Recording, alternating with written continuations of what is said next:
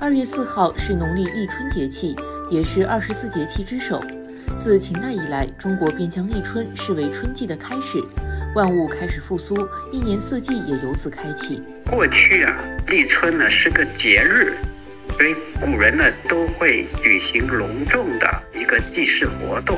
至今呢，还民间还流传着一个谚语，叫。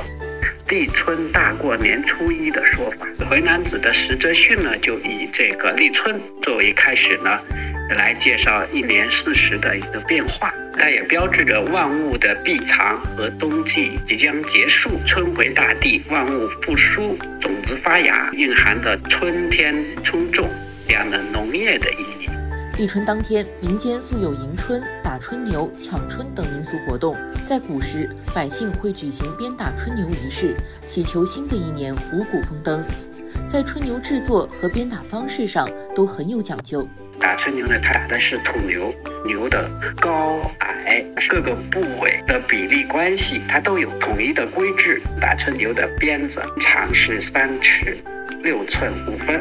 那么象象征着一年的三百六十五天，在打春牛的时候，它会，呃念念着说：一打风调雨顺，二打土肥地宣，三打三阳开泰，四打四季平安，五打五谷丰登，六打六合同春，七打七星高照，八打八节康宁，九打九九归一，十打天下太平，表示一年呢能够丰收，能够吉祥的。